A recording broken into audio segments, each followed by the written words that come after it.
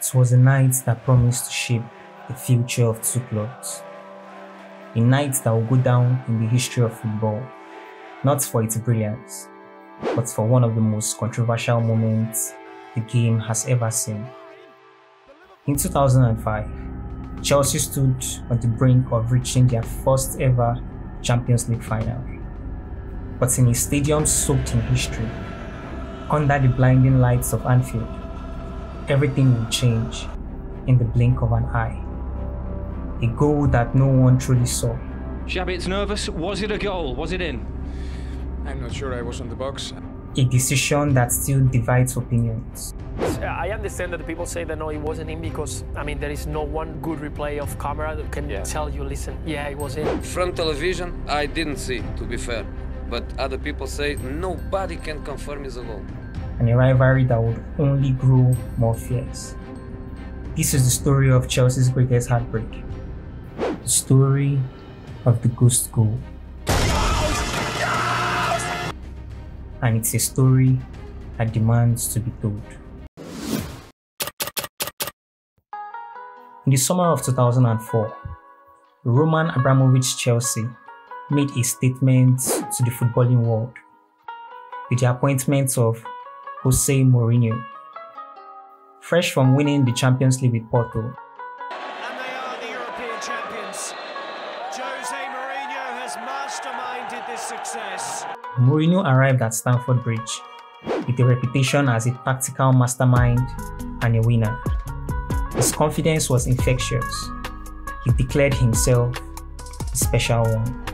I'm European champion, so I'm not one of of the bottle.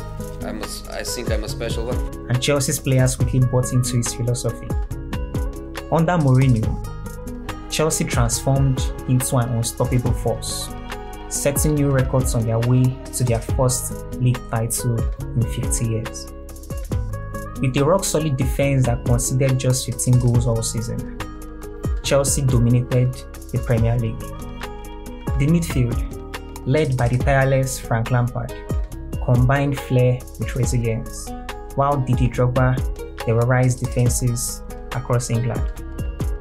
Chelsea was no longer a team of potential, they were champions. But Mourinho's ambitions was clear. Domestic dominance was just the beginning. The ultimate goal was to conquer Europe. The semi-final draw pitted Chelsea against Liverpool a domestic rival who had struggled in the league but excelled in Europe. The first leg at Stamford Bridge was a tense tactical battle. Mourinho's men pushed forward in search of a breakthrough, but Liverpool's defense held firm. Despite their best efforts, Chelsea couldn't find a way through, and the match ended in a nil-nil stalemate. It was a frustrating night for the Blues, but they remained confident knowing that an away goal at Anfield would be decisive. As Chelsea arrived at Anfield for the second leg, we were met with a wall of noise. The atmosphere was electric, with the Liverpool fans creating an intimidating environment for the visitors. Anfield was a fortress, and the crowd believed they could wheel their team to victory.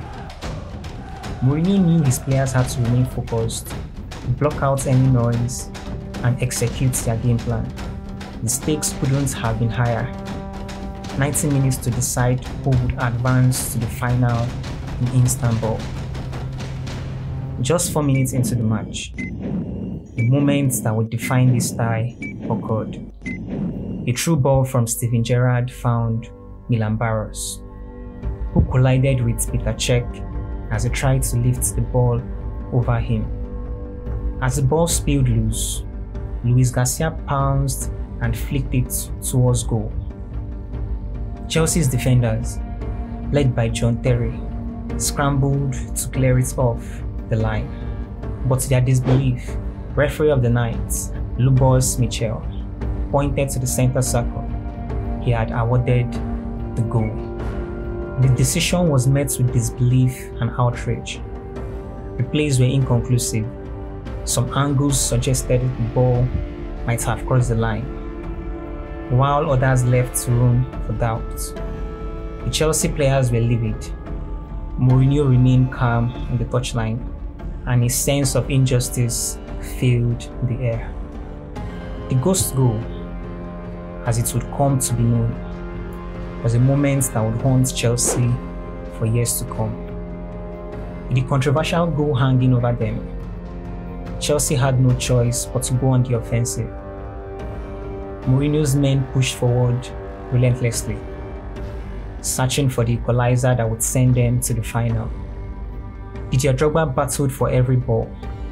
Frank Lampard tried his luck from a distance, and John Terry ventured forward on every set piece. But Liverpool's defense, led by the heroic Jamie Carragher, stood firm. Every Chelsea attack was met with the wall of red. Every shot was blocked or saved, and the frustration began to build. Despite their best efforts, Chelsea couldn't find the breakthrough. As the clock ticked down, the tension reached its peak when the final whistle blew. Anfield erupted in celebration.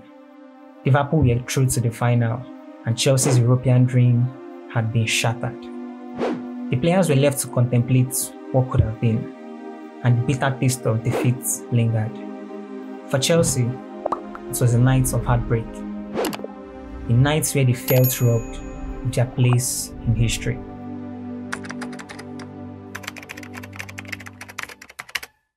Aftermath of the match was filled with controversy and recrimination. Jose Mourinho didn't hold back, questioning the legitimacy of the goal.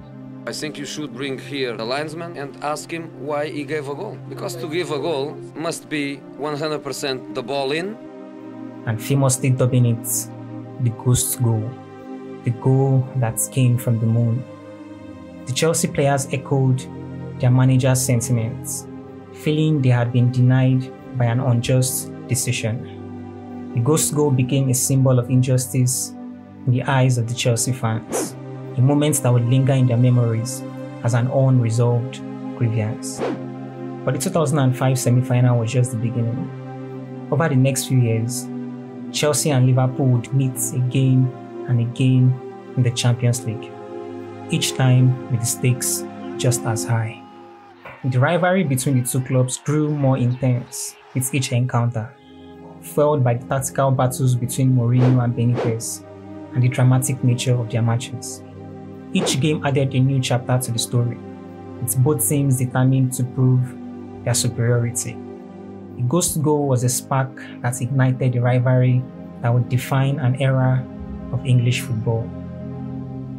The heartbreak of 2005 left a scar on Chelsea, but it also fueled their determination to succeed. Over the following years, the Blues continued their pursuit of European glory overcoming setbacks and near misses.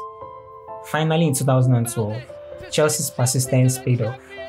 In a dramatic final in Munich, they defeated Bayern to lift the Champions League trophy for the first time in their history.